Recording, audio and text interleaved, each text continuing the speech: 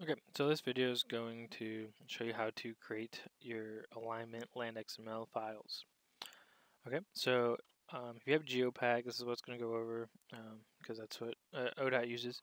Um, so um, other software, CAD softwares uh, probably have a similar uh, process, um, but since we don't have those, uh, you know, I can't really demo that. Uh, so what I'm going to do is open up COGO.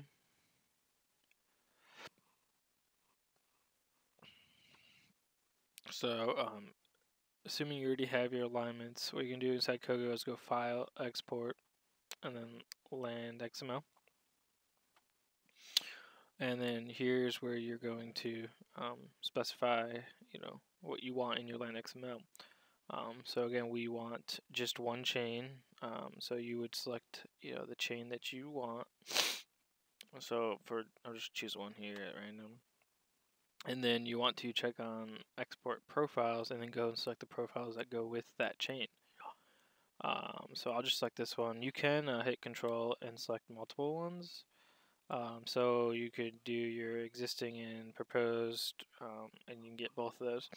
Um, now the important thing is to, to make sure you give us the proposed profile in XML. The existing one is not as important as the conductor says that it just um, junks up the file, takes a lot longer to load, and, and they aren't going to use that in their AMGs anyways. Um, so uh, you don't have to put the existing profiles, but you do have to put the proposed. Okay, so remember one chain or horizontal alignment per file.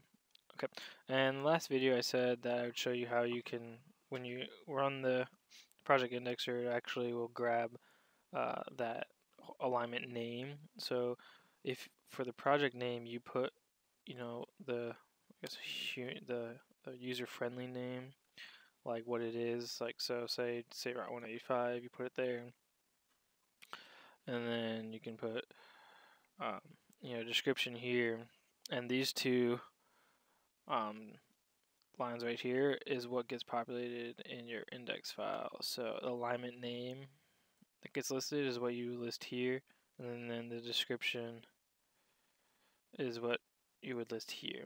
Um, so if you fill it out here, you don't have to worry about doing it later. Um, propose 185. Alright, and then you would choose the location to save it. Uh, I'll just do demo and export, and you have your Land XML file.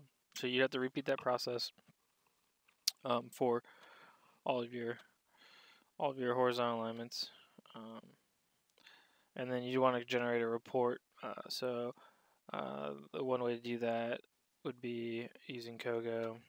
Um, you could just open up your um, chain stuff and you could just describe it and then you can save this uh, as a text file and then you'd want to do the same for your profiles um, oh, not parcels. So where was that at? See that? Describe that. So um, you'd want to do that.